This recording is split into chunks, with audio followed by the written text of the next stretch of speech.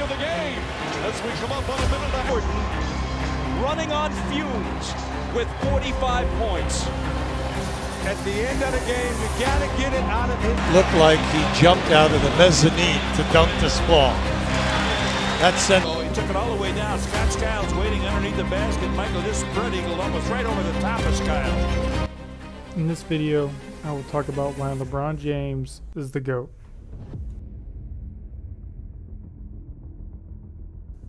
First argument I always hear is MJ's 6-0 and LeBron is 4 and 10. But what people don't talk about is the context around it. They just say 6-0 and it ends right there. But if it ends right there, that means that Bill Russell would be the GOAT.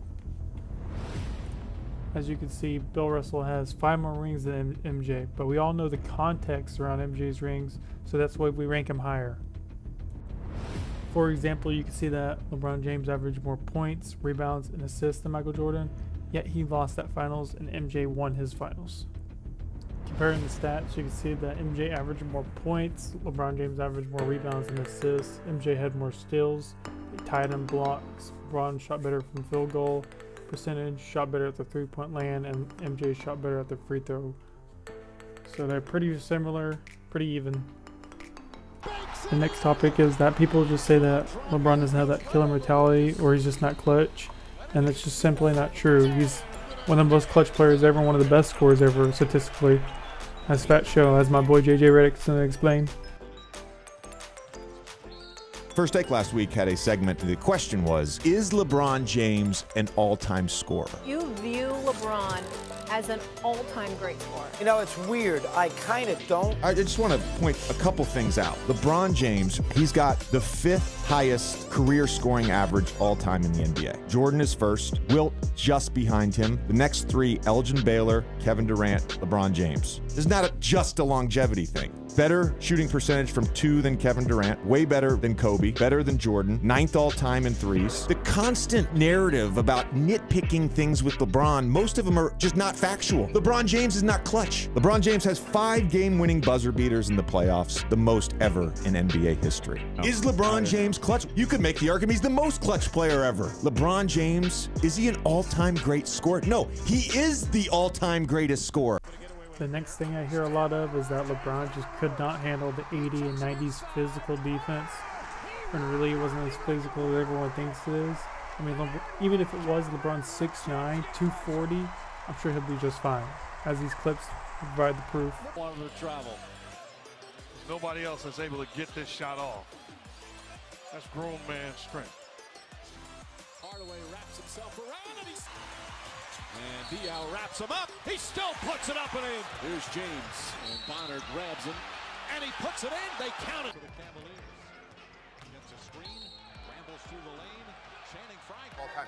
I'm, I'm gonna let me educate you for a second, Stephen A. 'cause This is important because this gets brought up all the time. I'm gonna educate you for a second because I have a basic understanding of NBA rules. First of all, hand checking. You weren't allowed to do it in the scoring area. Secondly, illegal defense. How many times have we seen LeBron James isolated on the left wing? And, and seen that that secondary defender flood the box. It's called flooding the box and coming all the way across. That's illegal defense. In the NBA, in the 80s and 90s, you could not leave your man. So, yes, there's more space now. There's also more help.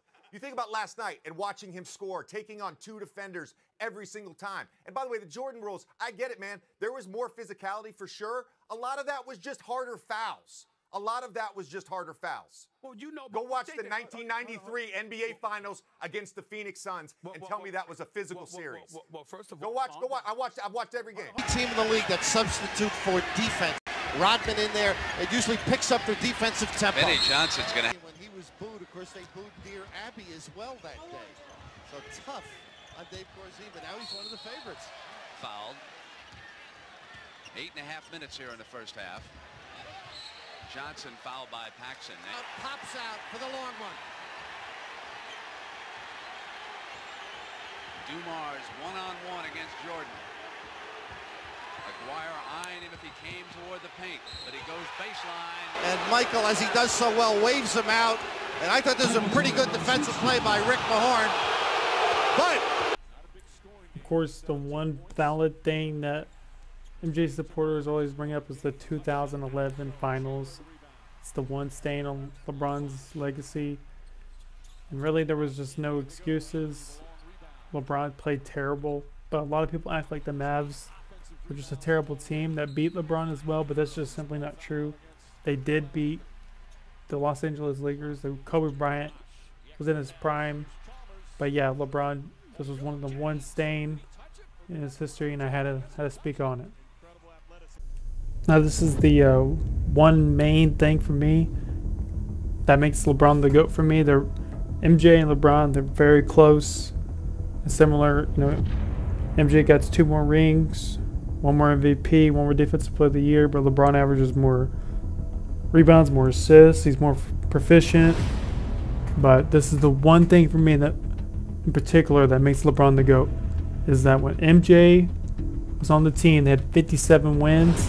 But when he left the team the next year, they had 55 wins. You telling me that the GOAT, the best player ever, his team is two wins worse without him? I just can't. I just can't accept that. I just cannot accept that.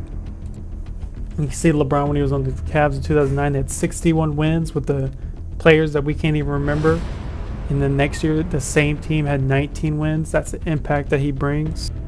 As you can see, when he had D-Wade Wade and Chris Bosh, he had 54 wins. And then when he left, the very next year, 37 wins out the playoffs, had D-Wade and Chris Bosh.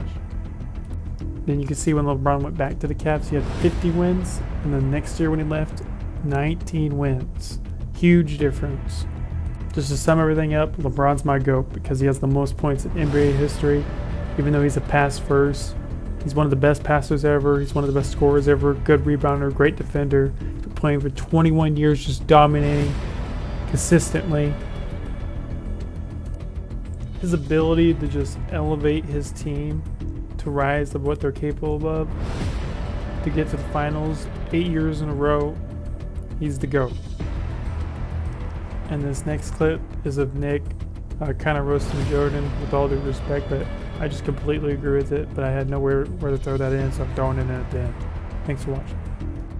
We pretend Jordan's career was six years long. Can we show guys who won rings in years Michael Jordan played? Well, Larry won, Kareem won, Magic won, Isiah won, Akeem won, Drexler won, Shaq won, Kobe won, David Robinson, Tim Duncan won. Before Scottie Pippen got there, a total and complete loser. Not just one and nine in the playoffs, never even above 500 in the regular season.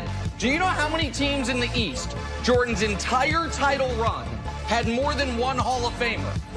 One. The team Michael was on. There were three super teams in the East the Celtics, the Pistons, and the Magic. His career playoff series record against those three teams two and six.